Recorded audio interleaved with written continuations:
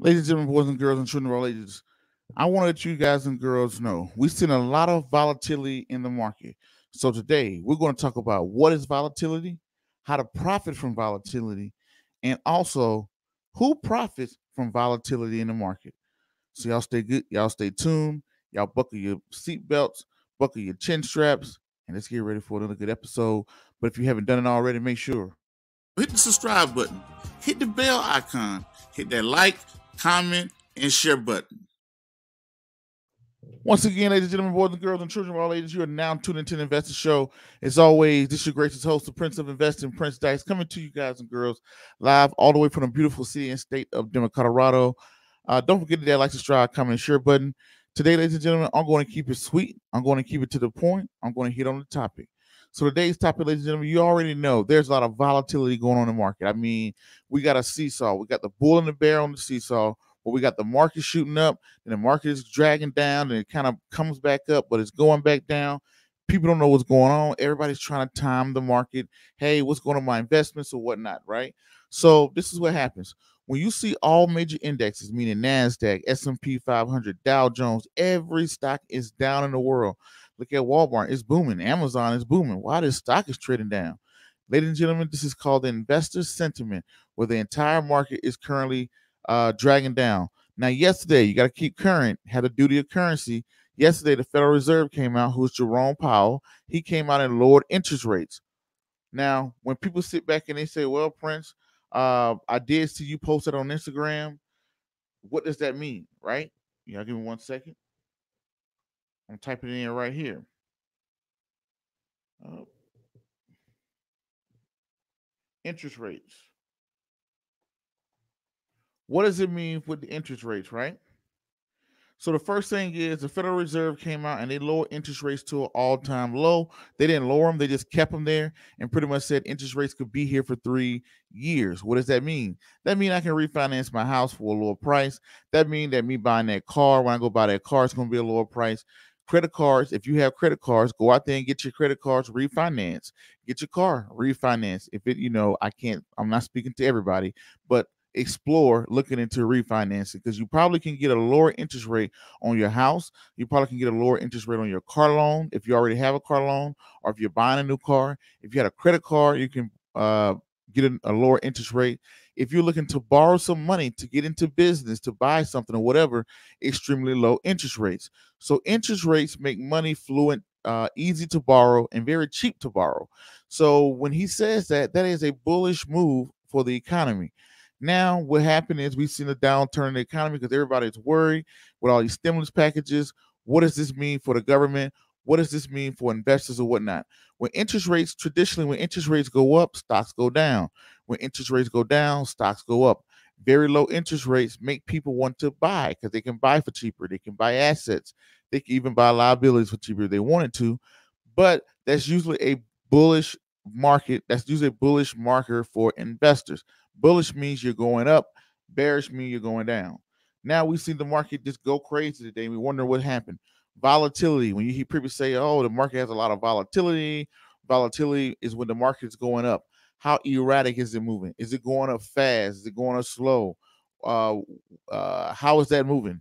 I'm going to talk about how to profit into that and how to invest into that and who is actually out here profiting from all of this volatility the reason why most of y'all won't know who's profiting from volatility is because most investors do not have a uh, they have investors amnesia. They can't remember what happened yesterday.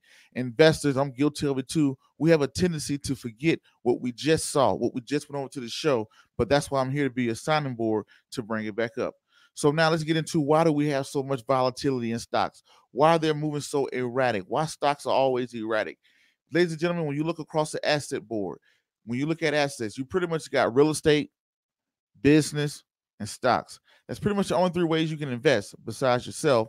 But real estate, business, and stocks. Yes, inside of stocks, you can buy call option, put options, gold, ETFs, mutual funds, penny stocks, large cap, small cap. Inside of businesses, you can start your own business. You can buy a business. You can buy a business, then flip it. Same thing with real estate. That's pretty much all your assets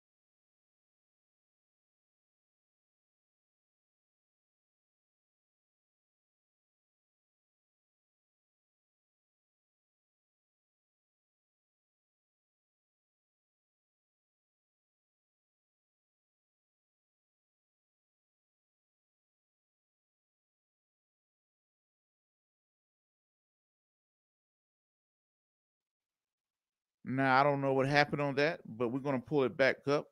So why stocks are so volatile? I don't know where it cut me out at, but the reason why I was saying you see so much volatility in stocks is because stocks, the we have our finger on the pulse, we have our finger on the trigger, right?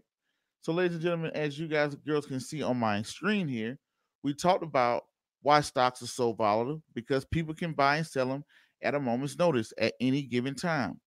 Now, investors amnesia. Why investors are so um uh, who profits from this volatility in the market? Who profits? You know, who what companies uh, let me tell you well, let me tell you how you can profit. First, you have the index called a VIX, V-I-X. You can invest to the VIX index. You also can go out and buy uh not shares, but you also can buy the VIX index. You can buy, you can bet against the market with leverage ETFs. You can bet the market is going to rebound by buying leverage ETFs. You can also dollar cost average. You see stocks go down, you can profit from the volatility. You also can get into option trading, which is very risky, right? So you can profit from stocks being erratic and moving. Now it's very risky, not something I'm really crazy into, but those are options you have. Now, ladies and gentlemen, let's get down to the juicy stuff while y'all tuned in. Who is profiting? Who is profiting from all these stocks moving so far and so fast? Now I'm going to, you know, of course, Prince Dykes is going to come with the receipts and show you something new.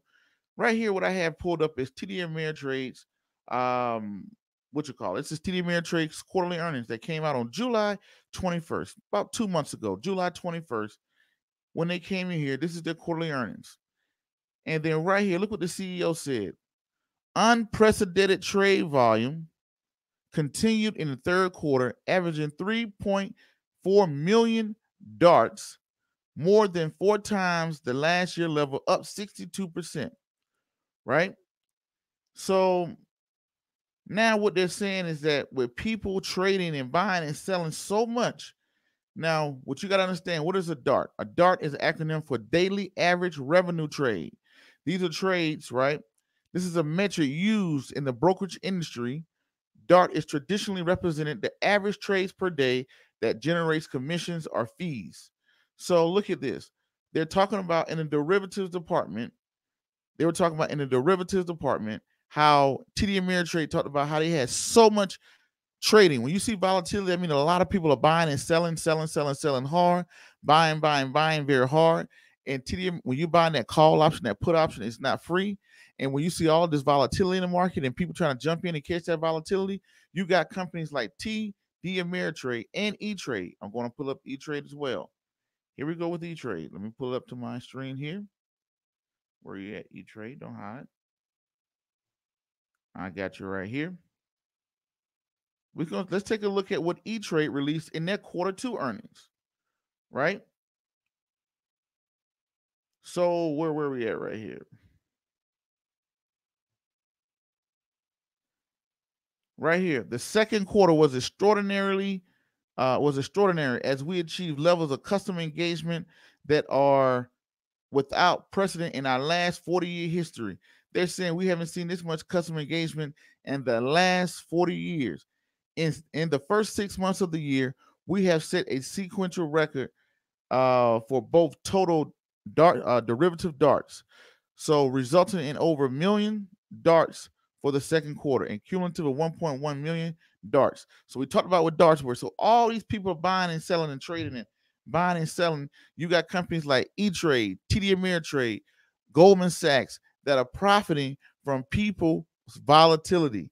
Now, we all know you can profit from the VX, the VIX. We all know you can profit from a call and a put, but nobody's paying attention to the broker houses, the Goldman Sachs of the world, the people that are executing these trades, people that are opening up those Robinhood accounts and buying and selling stocks. Those companies are making a lot of money when we get into this volatility of everybody buying and selling, right? So, ladies and gentlemen, that's what I want to talk to you guys and girls. Nothing much about. I want to talk to you about uh, why stocks were so volatile, who profit from the volatility, how to invest in the volatility, and what companies and what does volatility mean. So, ladies and gentlemen, this is why I wanted you guys to see what happened, right? And I want to tell everybody. He said, "Uh, he said, what's up, Prince? Um, he said I'm on time today. Cool, cool. All right, ladies and I got to get out of here. I want to sell my Facebook stocks in Singapore." Um, Sarah Trey said live froze. Yeah, it did froze, and I had to come back. I'm sorry about that, ladies and gentlemen. Mike out there sipping on his lemonade up there in Canada. He said daytime broadcast. Yes, I got to get running. It can't be too long, but uh, I will be back, ladies and gentlemen. But I want to show you guys as you see this profit or this volatility, think as an investor who's profiting. But until the next video podcast, cartoon, or whatever else crazy you see me do around the globe, peace, be safe. I'm out, and thank you.